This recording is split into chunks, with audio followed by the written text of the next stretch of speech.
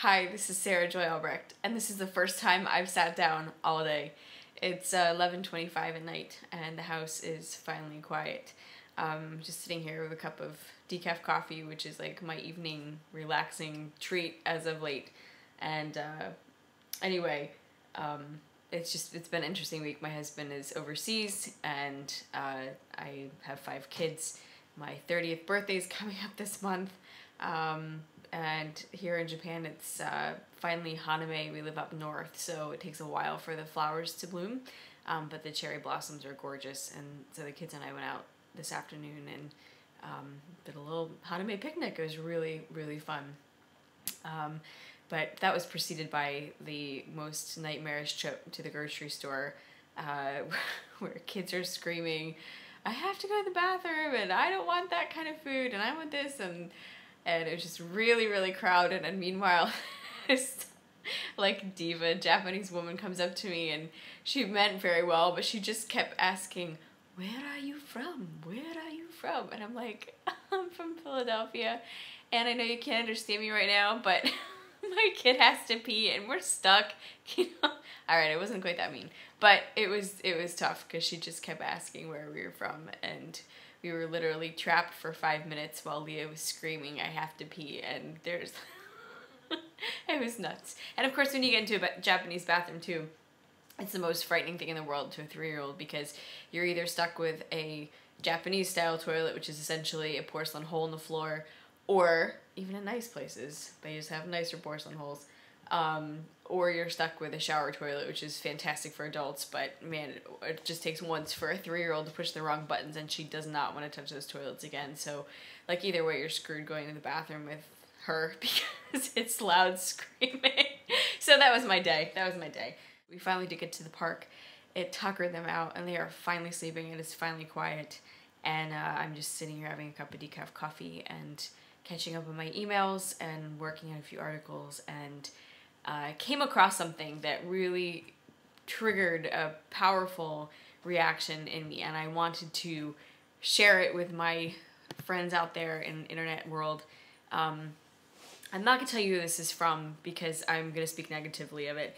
Um, but uh, if you wanted to do a search on the words, you could probably find it. Uh, I found it on the site Divine Caroline, which is a place where I occasionally will publish some of my work um, if I just want to get something out there.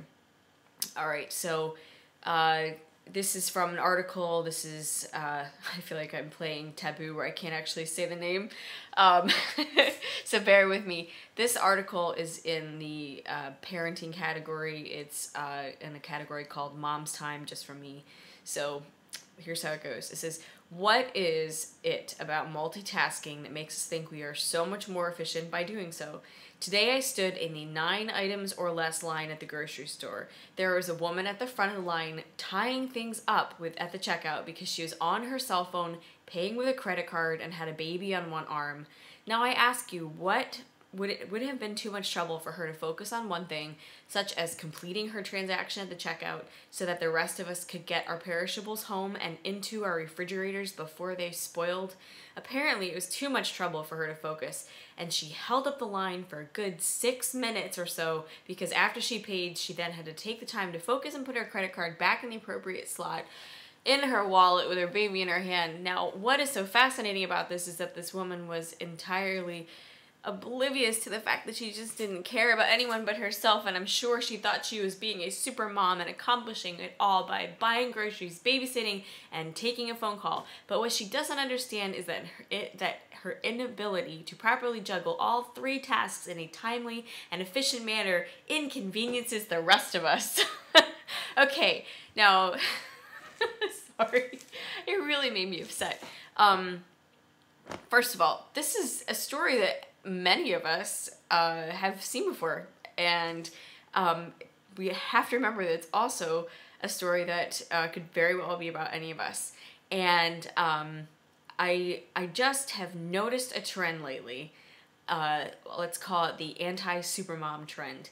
Um, that I think is both healthy and dangerous at the same time. Um, it's healthy to be realistic and it's healthy to you know, ex- examine what am I doing? Am I doing this for other people? Am I doing this for my family? do I uh, am I doing this because I'm trying to uh, to portray myself as a certain way or to have a certain status or just evaluate your motivation for why you're doing what you're doing. Um, and it's it's very healthy to realize that you don't have to be uh, a Stepford wife, Martha Stewart type person just to be a mom. Um, so that's a healthy aspect of it. The dangerous aspect of it is that um, I, I really get concerned when people run down moms, uh, and particularly when women run down other women.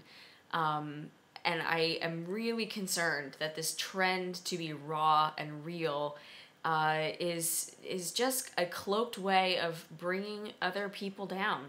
And I just really want to encourage uh, my viewers, uh, people that read my blog, my subscribers, uh, to avoid doing this. It's okay to be raw, it's okay to be real, but please do not run down other people. Uh, a great scene, if you want an example of this, because I have seen it when I uh, worked in corporate America, is uh, the scene in Dennis the Menace where Dennis's mom, Alice Mitchell, needs to. She is having trouble finding a babysitter for Dennis, and her uh, coworker comes by and she's clicking her long fingernails on the desk, and she goes, hello mom and and she talks about how she has a life because she, i don't have kids but i have a life. And you know women in the workplace are treated like that um, and so one common theme though is that it seems to be women that are treating other women that way and i mean come on it's 2010 do we really have to run each other down uh, in order to make ourselves feel good about ourselves and the answer is resoundingly no um, what is the solution to this? The solution is be yourself. And if, if you are a person, not everybody, keep in mind, not everybody is the same cookie cutter type person. And that is awesome. It's really, really cool that there are so many different types of people in this world. The word that I want you to walk away with is support.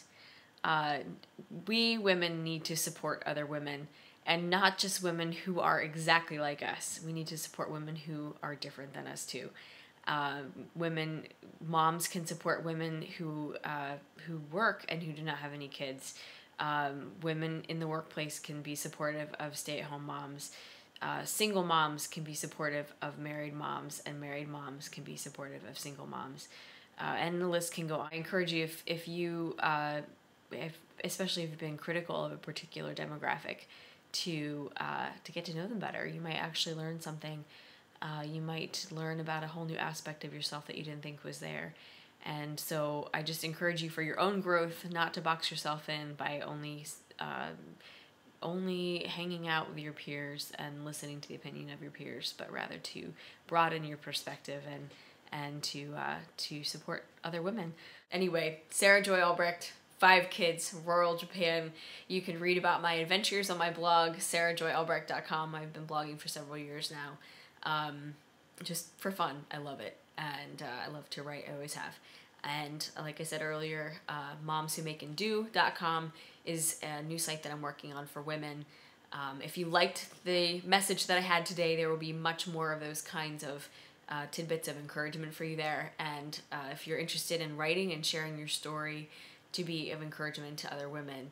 Um, I'd like to hear from you. I, I like some um, some passionate and powerful writers uh, contributing to my site. So, signing off. Uh, I'd love to hear your comments.